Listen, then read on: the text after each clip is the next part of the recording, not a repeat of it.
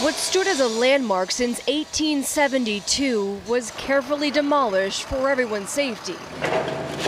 A building of historical significance, a spiritual home to generations. The horror, disbelief, you know, many of them were born in this town. They were baptized in that church. You know, they were hoping to die in that church. So it cradles all kinds of precious memories and experiences. Elaine Schindel watched as the First Baptist Church, her church, nearly burned to the ground. And again this afternoon as what was left came down. It's really devastating. It's like, um, how do I explain, a death in the family. Lightning first ignited the 180 foot tall steeple as strong storms pushed through Wakefield Wednesday night. This was so unexpected and um, just shocking. Just feel so sad.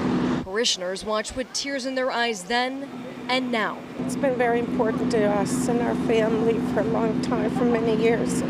We come every Sunday. We lost a lot of memories, a lot of uh, a lot of beautiful musical instruments, and yet not all was lost. You know, our faith is one of uh, hope and resurrection and um, you know, we believe that you can rise from the ashes and joy comes in the morning.